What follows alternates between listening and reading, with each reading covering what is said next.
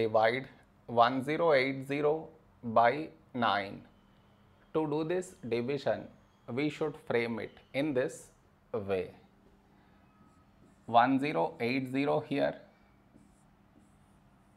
9 here. This is your step 1. Next, here we have 1, here 9, 1 smaller than 9.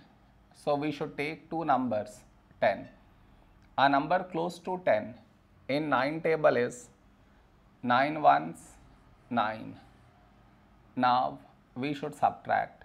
We get 1. After this, bring down the beside number. So 8 down. So 18. When do we get 18? In 9 table. 9 twos 18. Now we subtract. We get 0.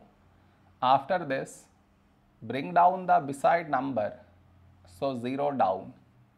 So 0. When do we get 0? In 9 table.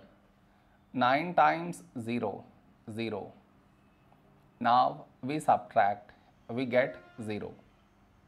No more numbers to bring it down. So we stop here. This is our remainder. This is our quotient.